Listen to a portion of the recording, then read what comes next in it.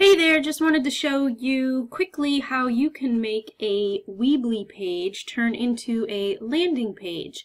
So I'm logged into my Weebly dashboard and I'm just going to go pick any page at all. Uh, there's a lot of pages in here we don't use anymore. So let's pick the media page here and as you can see if we went out to the live page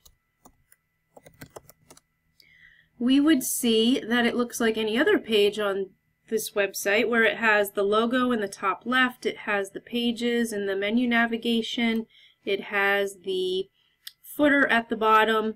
So if we just wanted to turn this into a landing page without the footer and without the navigation and without the logo, we would come into the page SEO settings and place some code in the header code box right here. I have this code on my notepad, which I'm going to place below this video.